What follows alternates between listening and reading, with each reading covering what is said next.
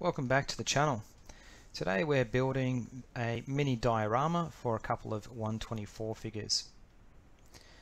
Now the product that I'm using is Vallejo Thick Mud and the particular version I'm using is the uh, European Thick Mud.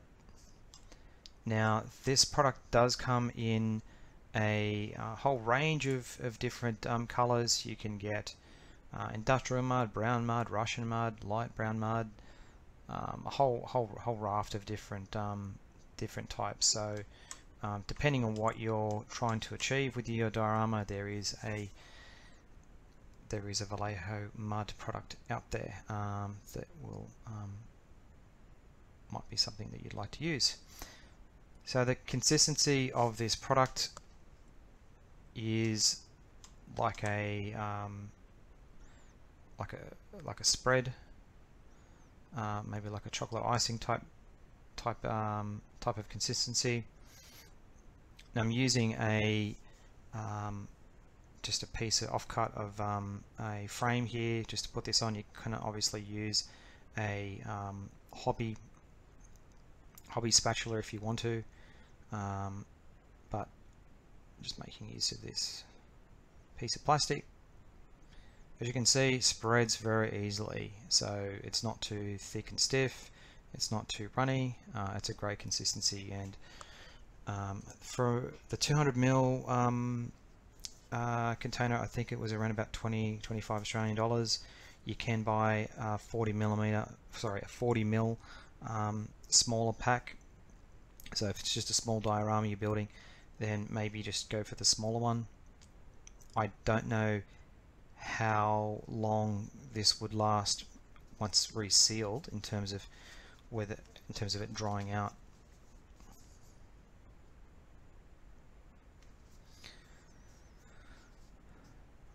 Also on the dry time I think it's 24 hours for fully dry or it could be 12 hours um, I'm not 100% sure it doesn't actually say it on the jar, um, but I think on one of the Vallejo blogs or one of the Vallejo videos they talked about the dry time and it was either 12 hours or 24 hours. Now, in terms of the dry time, if you wanted to paint the the um, the ground, so if you wanted to use um, a different color to or a contrast just to contrast the ground, you could wait until it fully dries uh, and then apply that on by brush or airbrush. Now I'm not doing that with this build, I'm um, purely, um, I, I want to use it while it's wet so I can um, ad adhere the, um, the,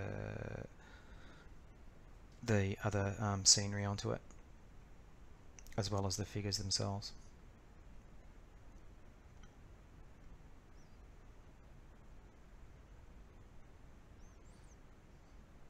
Obviously you could probably make this from scratch somehow using sand, maybe dirt, um, perhaps some glue in the mix um, and water but look um, this pre pre-mixed product works very well.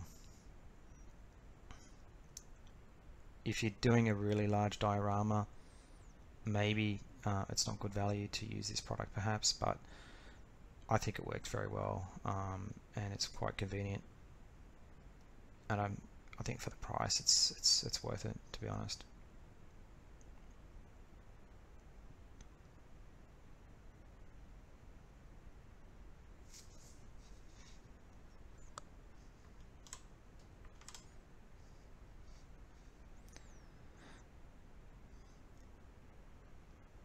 So covering the sides here because these sides will show once that it's on its base plate. So it's important that those sides are covered. I'm sure there's a better way of doing this as opposed to holding it and getting it all over my fingers, but uh, this was the way I did it. And uh, look, it, it is an acrylic product, so it does wash off um, fairly easily. So don't be too concerned about getting it on your fingers.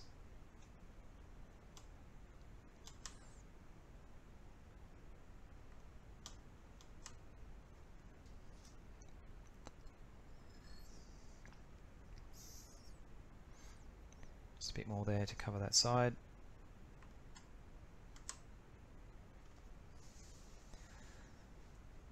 Okay.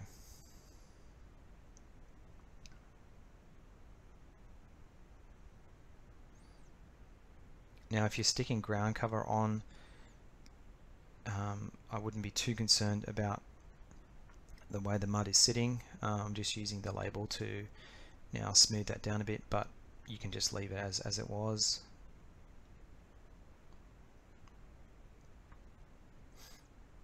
You can come back with a brush and use the brush to um, from above just to create that sort of um, effect if you wanted to look, make it look more natural but yeah so now I'm um, placing the uh, main rock feature here so this is a stone that I came across last weekend when I was out and about.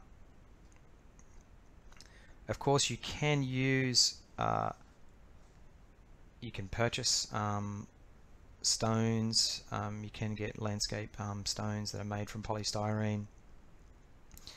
Um, you can make your own, but um, for me I had these, found these small stones when I was out and about last weekend, so why not make use of those?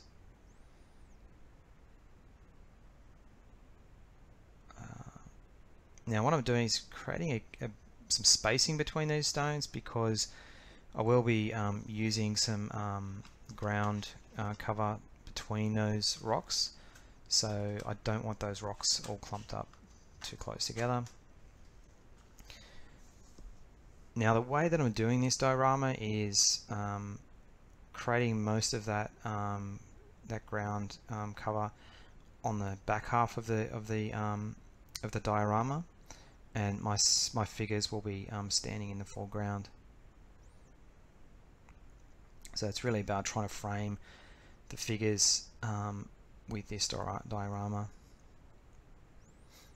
Now what I'm going to do is use a old brush here to just combine some of that European thick mud with those rocks, um, just sort of dampening them a bit, just to make it look like they're integrated with the ground uh, a bit more as opposed to just sitting directly on top. So I'm kind of brushing on the thick mud and kind of just slightly pressing them down a little bit um, just so that they look a little bit more natural as opposed to just sitting there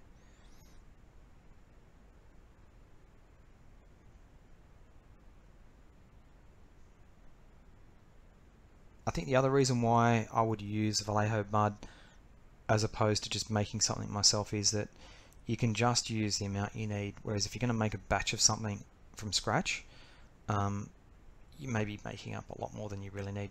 So now what I'm using here is the Vallejo Scenery Diorama Products Wild Dark Moss. So this is small size um, and it's the 2 millimeter.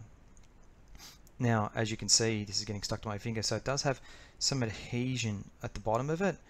So if you had let the ground cover dry, you could use the adhesive um, on the bottom of these things to, to place them in place. Whereas um, at the moment, the, the thick mud is um, adhesive. So I'm going to use some tweezers, place them underneath um, that overhang of the rock there, which is the most natural place for that to appear in nature. Moss is not going to be out in the open in the direct sunlight it's going to be in that shaded place.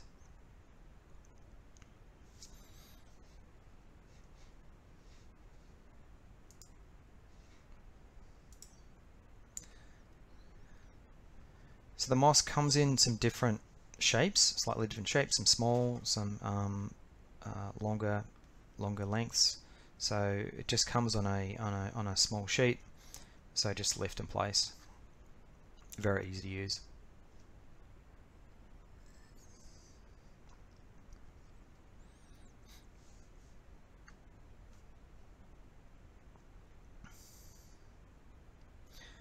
Now what I'm using is the Vallejo Diorama Products Wild Tuft in Autumn.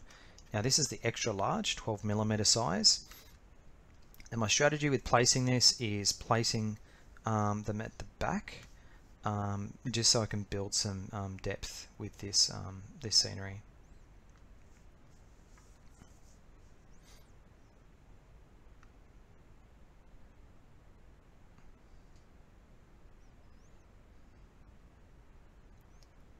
So you can see now why I've, I've left some um, spacing between those, those smaller rocks just to allow me to place those tufts.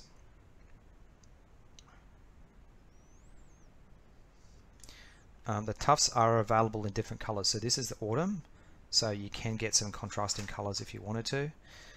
And just adding some more light here so you can see a bit more of what's going on.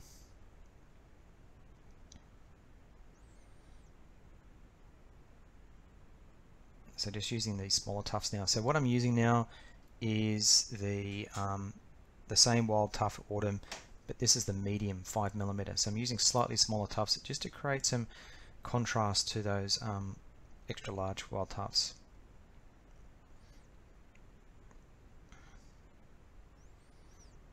So that's how they come on a sheet like that, and just you just pick the shape um, that works for what you're trying to do.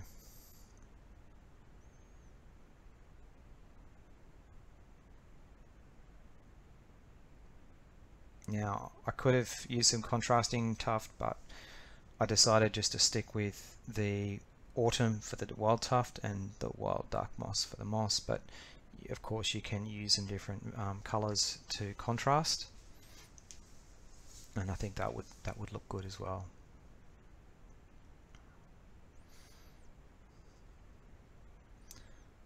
Course you could probably make your own tufts as well but um, I'm sure there's a way to do that. But uh, again this is quite easy convenient. Um, I can't remember how much I paid. Uh, I think it was maybe eight or nine dollars um, for each pack of these. It's just very easy very convenient. Now what I'm going to do is take my base. So this has been purchased from um, Amazon um, uh, wooden um, coaster and I just thought this would just be a really easy um, nice presenting base to use uh, just P for plenty, PVA glue. And obviously before I um, got started I made sure I cut this um, piece of foam to size so that I knew that it would fit um, on the um, on the base. Okay, just drop that in place and if you get a bit on the wood it doesn't matter it just comes off very easily with a bit of water. Okay, get some of these things out of the way. Okay, that's better.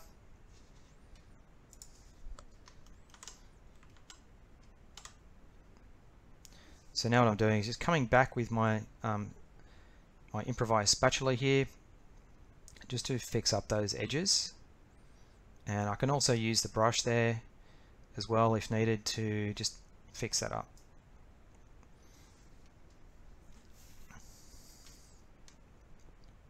Now what I'm going to do is place my figures just to get a sense of uh, where they are. Now you can um, of course glue these to the base uh, once it's dried so place them remove them and then glue them again later um, that will probably be a more um, sturdy placement as opposed to just relying on the thick mud to hold them because as, as you can as you as you know that I've only placed a fairly thin um, thin out here. Um, the other reason why I want to place them here is I do want to come back and place some more ground cover. So I just want to get a sense of um, the ground um, so that I can then um, look at placing some more um, tuft on the ground just so that that front front of the diorama isn't so bare. Now the other thing I forgot to mention about the thick mud is if you're using tracked vehicle um, or a vehicle, you can use the vehicle wheels or the vehicle tracks to run that through the thick mud to create the impression of the vehicle or the tracks. You can also use a brush or an airbrush also um, splatter the um, mud onto the vehicle. And in the case of um, figures, what you can do is just use a brush there just to um, just um, push that mud back up against those boots so it looks a bit more realistic and also just putting a bit of that mud onto the boots um, as you'd expect with these um, figures if they were walking along the ground you would expect they, they would have some of that um, ground uh, mud on their on their boots. So we'll place a link to the build of these figures um, and you can check that out if you want to see um, more about the, the, build of those figures. Uh, those figures are from Masterbox, which is a Ukrainian company. So if you'd like to support Ukrainian made, I highly recommend checking out those master box figures. Um, they, they were pretty good and um, pretty good value too. So just using the brush there just to fix up the sides there.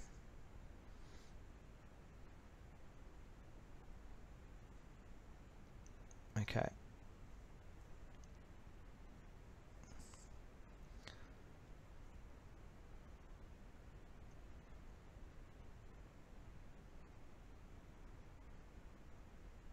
Okay, so just uh, thinking through the placement of more tuft here, so putting a large one at the front.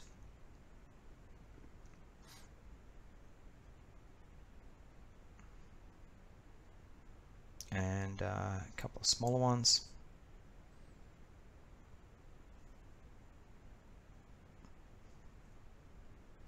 just so that I just don't have that big amount of barren um, mud at the front.